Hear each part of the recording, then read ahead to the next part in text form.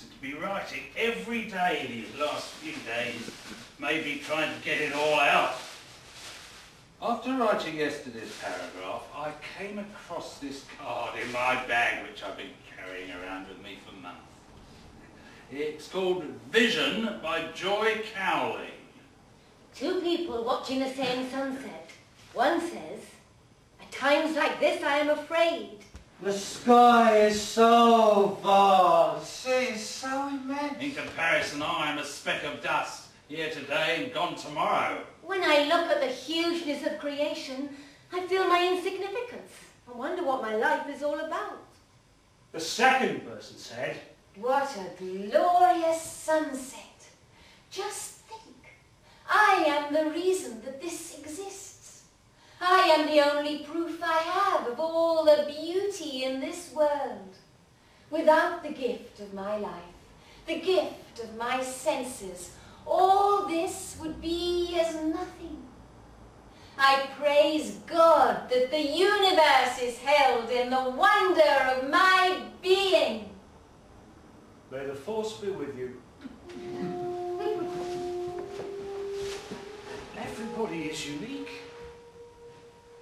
Never been anybody quite like you. And there never will be again. In that uniqueness, in that individuality, there is no comparison with anything else, with no other entity, no other being. In that sense, that being must be perfect. Perfect in its own right, in its own creation. If that being is perfect in its own right, it must also be beautiful. If that being is perfect and beautiful in its own right, it must also be divine. If that being is perfect and beautiful and divine in its own right, then it must also have the light within, a spiritual light.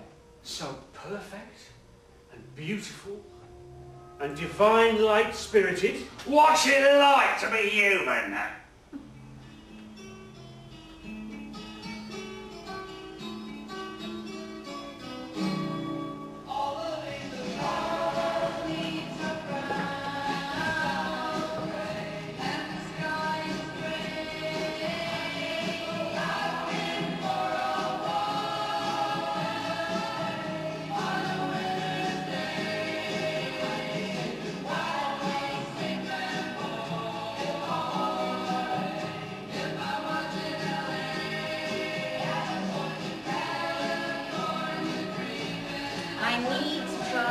Write. Not the love of California dreaming, or the naff soppy stuff, or even romantic love, but the power of the vibes. I'm in the staff cafeteria in the Royal Free Hospital. The public can use it, but we pay extra.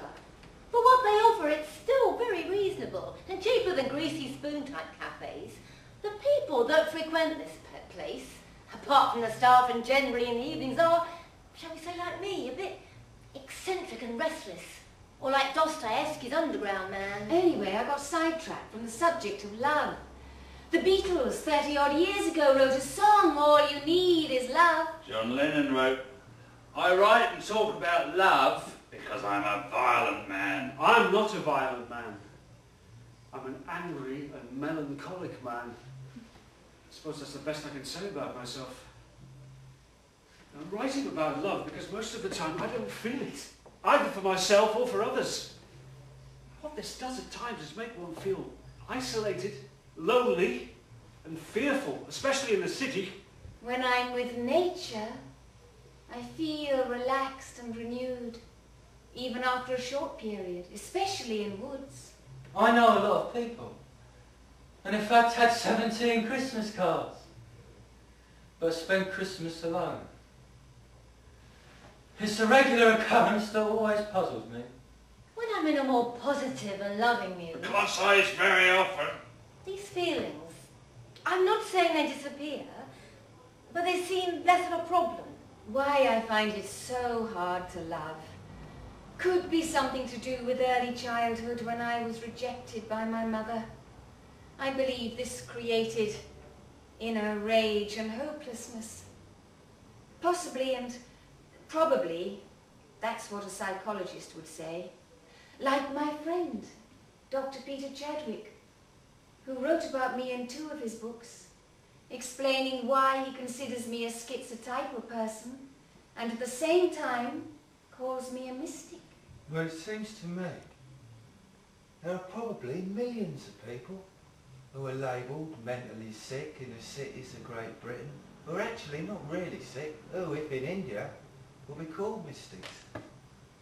That may be one reason why there are apparently less mentally ill people in proportion to the population in India than in Great Britain. But love is a power. Now, being in a state of love apparently is supposed to be good for your well-being. That means it's good for your immune system. You experience less stress, less illness, less fear, less loneliness, less isolation, and probably helps you to have more friends and more freedom. Well, that's a theory, but I don't know about those last two. All I know is I can't take too much of it. It starts to undermine me, it makes me nervous. It starts to irritate me. The feelings of being isolated and cut off seem more familiar and safer for me. And it's not just me. It could be that this is the problem for people who can't love. It feels safest to be experiencing the absence of love. There is a line from William Blake. We are put on earth for a little space, that we may learn to bear the beams of love. The emphasis for me is on the word learn. So we have to learn to love. So millions out there in the cities and towns have never learned to love. That seems to make sense. Very young children just generally want to have their needs met, be it food or toys, until they start to get older and have to learn to consider others. Suddenly, I realised what I was looking for was love.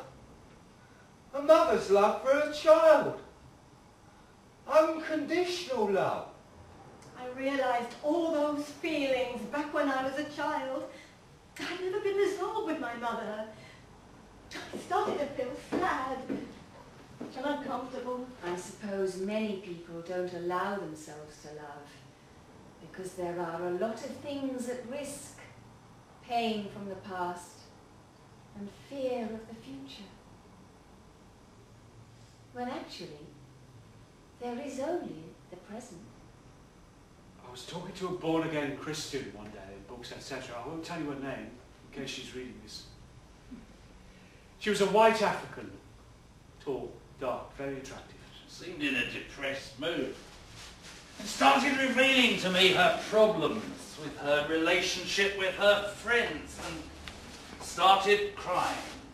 I was perplexed about what to do, so I tried to comfort her as best as I could. After a while, she said she felt better. And she commented that she thought I was a loving person. I was a bit surprised by that, but I said, I suppose so, but I have to work very hard at it. I was feeling empathic that day. Mind you, she was very attractive, and it is easier to feel that way towards such a person. I think the idea of being attractive may be important. If a homeless person on the streets who is, let's say, not a very attractive human being, even possibly ugly, and is rejected day after day, and even has violence done to him, and through it all is able to love or be empathic towards others. I would put this person on a par with a saint. That's why, I suppose, Jesus is so attracted to lonely, isolated people. They feel persecuted, just like him. I think it's much harder to love in this day and age. People seem to have no time, especially in cities. There's fast living, fast food, faster computers, information overload. we absorb more information in one day than Renaissance man did in his whole lifetime. One in four people live alone, compared to one in 20 30 years ago. There's isolation, lack of trust, single parents. A large majority of kids are out of control on estates. There's negative news on the TV and radio from around the world, right into your front room.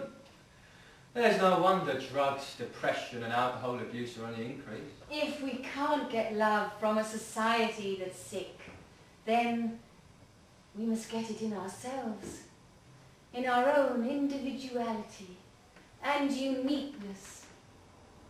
Without love, life is meaningless. Once you have love within you, never mind how small, life becomes more meaningful.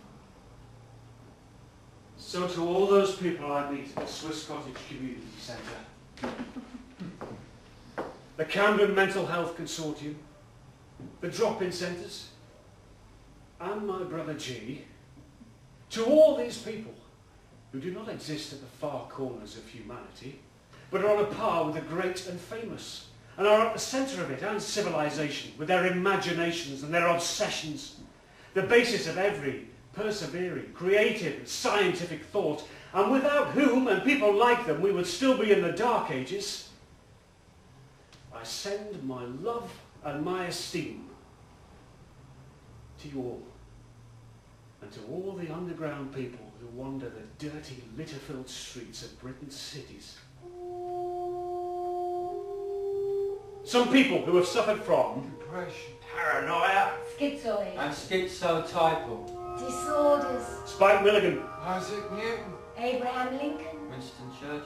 Rod Steiger. Igor Stravinsky. Herman Hesse, Victor Hugo. Somerset Maugham. John Wesley. George Bernard Shaw. W.H. Auden. Maurice Ravel, Albert Einstein. Gustav Mahler. Vincent van Gogh. Sigmund Freud. Carl Gustav Jung. Ludwig Wittgenstein. Stephen Fry. John Cleese. After Urban Robinson Crusoe left the cafe in Hampstead, I noticed that he'd left on the table a small piece of paper, folded and slightly grubby, as if it had been at the bottom of a bag for a long time. I opened it and read the title. Only One Truth. I still wonder if he left it there on purpose, or whether he just mislaid it when he gave me the journal. I've had some printed up. You can help yourself to one as you leave, if you like. Anyway, that's it. End of story. I'm off.